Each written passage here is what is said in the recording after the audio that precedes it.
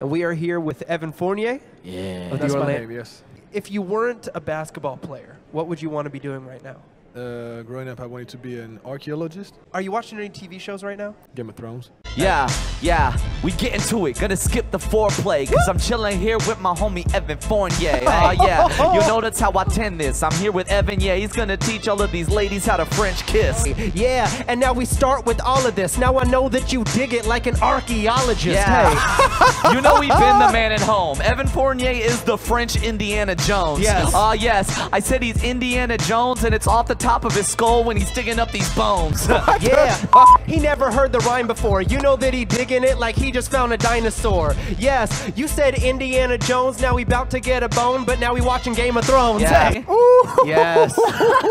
Thank you so much, Yo, bro. hey, hey, did you guys do some research? No, We- no no, we research didn't do any whatsoever. research. On, on the fly. All Completely freestyle. on the fly. That was impressive.